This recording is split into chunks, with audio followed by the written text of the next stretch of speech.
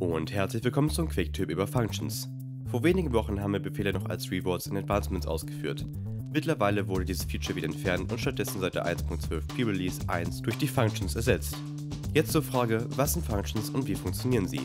Functions sind Texte mit der Endung .mcfunction, in der ihr eure Spiellogik programmieren könnt, die ihr für eure Adventure Maps benötigt. Die Dateien werden analog zu den Advancements im Weltordner unter Data Functions gespeichert.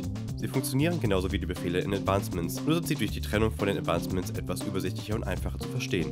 Die Befehle werden wie bisher auch von oben nach unten Zeile für Zeile ausgeführt. Eine tolle Neuerung sind die Kommentarzeilen, die mit einer Raute beginnen. Dagegen darf keine Zeile mit einem Slash starten, weder ein Kommentar noch ein Befehl. Das ist sehr wichtig, wenn ihr Befehle aus Generatoren oder früheren Projekten kopieren solltet.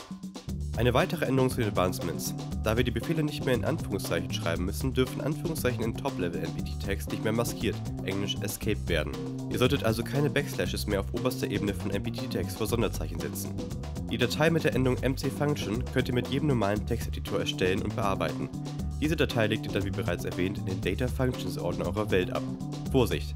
Der erste Unterordner nach Functions ist Pflicht, da er den Namespace darstellt. Lasst diesen Ordner weg, kann Minecraft diese Datei nicht finden. Ihr könnt dann weitere Unterordner verwenden, um euer Projekt übersichtlicher zu halten. Um eine Funktion auszuführen, führt ihr einfach den neuen Befehl function namespace gegebenenfalls Unterordner unter den Funktionsnamen ohne mcfunction-Endung aus. Eine Funktion wird immer relativ vom Caller ausgeführt. Das heißt, der S-Selektor in der Funktion bezieht sich auf den Spieler oder die Entity, die die Funktion aufgerufen hat. Da die Commands Rewards aus den Advancements entfernt wurden, kann stattdessen auf die Functions Reward zurückgegriffen werden. Hier kann eine Funktion angegeben werden, die nach Erhalt eines Advancements ausgeführt wird. Genau wie die Advancements werden alle Befehle, die in einer Funktion aufgerufen werden, innerhalb eines GameTags ausgeführt, wo wir gleich bei einer wichtigen Besonderheit von Funktionen angekommen sind. Teleports innerhalb einer Funktion wirken sich nur dann auf die nachfolgenden Befehle aus, wenn vor diesen Befehlen ein Execute vorangestellt wird. Beispiel: Stellt euch diese drei Zeilen in einer Funktion vor. Zuerst werden alle Spieler fünf Blöcke nach oben teleportiert. Dann wird als Markblock ein Block unter die Position vor dem Teleport und anschließend ein Diamantblock ein Block unter die Position nach dem Teleport platziert. Rekursion sowie wiederholte bedingte Aufrufe, While-Schleifen, sind auch in Functions realisierbar. Schaut euch dazu das Video von Kevin an. Es ist zwar noch mit Advancements umgesetzt, das Prinzip ist allerdings das gleiche. In dem empfohlenen Video verwendet Kevin eine Main-Funktion als Hauptprogramm. Das wurde nur mit einer Game Room mit den Functions von Mojang implementiert. Mit dem folgenden Befehl könnt ihr Minecraft dazu anweisen, die angegebene Funktion 20 mal in einer Sekunde aufzurufen. Warnung! Es kann je Welt nur eine Funktion mit der GameRule als Main-Funktion eingestellt werden.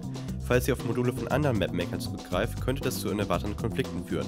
Verwendet statt der GameRule besser wie bisher ein Advancement, das mit Minecraft Trigger 20 mal in der Sekunde ausgeführt wird und ruft von dort aus die gewünschte Funktion auf.